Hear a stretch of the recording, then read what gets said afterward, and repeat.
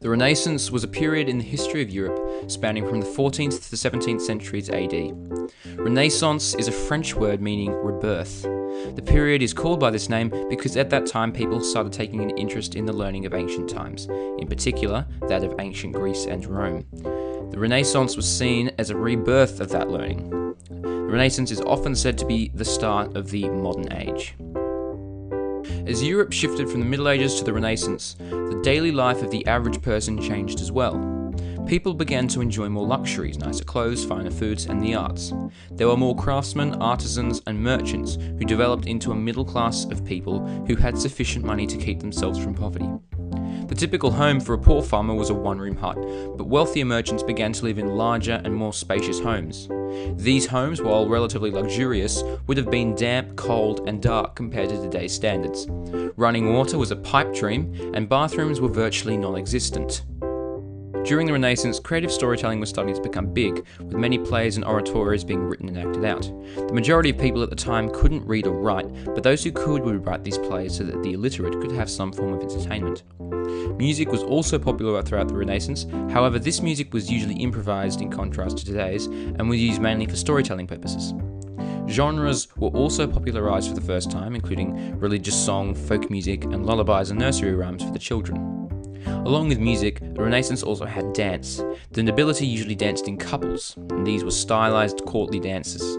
Ordinary people enjoyed folk dances similar to today's square dances and jigs. During the Renaissance, religious leaders had a great deal of influence on government and other aspects of public and private life. The Catholic Church grew during this time, its leaders were getting richer, and the church was growing in number and wealth. Christianity as a whole, however, was still seeing a decline from the bubonic plague in the early stages of the Renaissance. It was possibly because of this that philosophies like humanism became more popular. Employment was average during Renaissance. Most people had jobs, but a large number of these were very low paying, meaning that not many people had money to spare.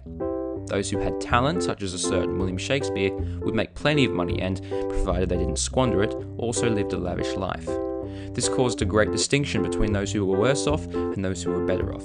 You either had money and lived the high life, or had no money and lived in poverty. A typical woman would stay at home and look after the household, children, and cooking. Women didn't have the rights they have today, and the husband was very much in charge of the house. The wife's role was to overlook cooking and other preparations and to make sure that a tight budget was kept while simultaneously showing off her and her husband's wealth. Their assumed role was to look pretty beside the husband, and it was expected that they wouldn't even consider a career. Italy, the place where the Renaissance supposedly began, had a system upon which it was divided into states that was subsequently ruled by dukes, duchesses, and sometimes very rich families. However, countries like Spain and England had monarchies, or kings and queens, as their heads of state. In the case of England, Queen Elizabeth ruled the country from 1558 to 1603, the time of her death. Under her rule, England received over 300 proclamations that governed their lifestyle. A pattern observed in most monarchies of this era was that the people tended to follow the example of their leader obsessively. For example, when Queen Elizabeth's teeth rotted from consuming too much sugar, her loyal subjects painted their teeth black to copy her.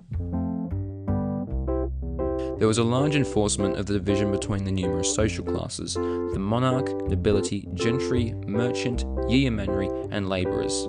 The monarch, leader of the country and their royal subjects. This class was exclusive to the royal bloodlines. The nobility, the noblemen and knights made up the nobility class, which governed England's upper class.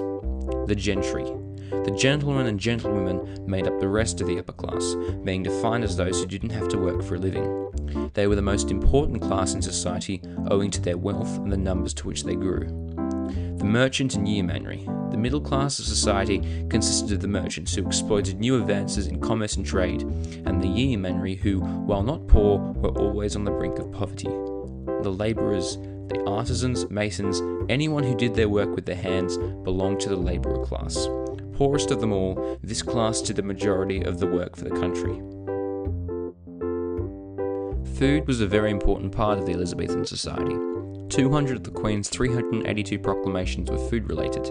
With advances in farming and trade, spices that were previously exclusive to the monarchy because of its high value was now readily available to the upper and middle classes.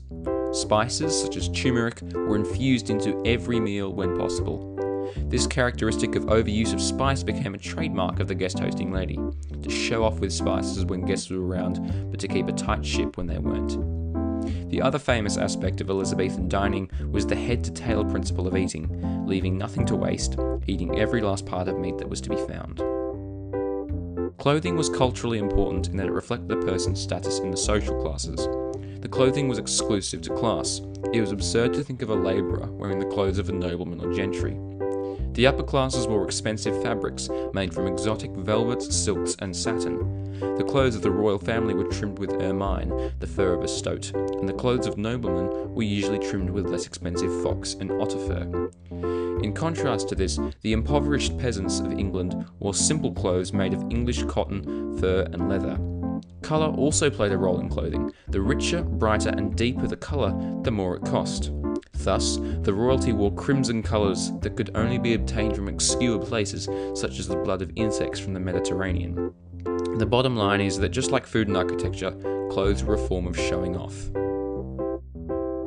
In 1576, the theatre was built.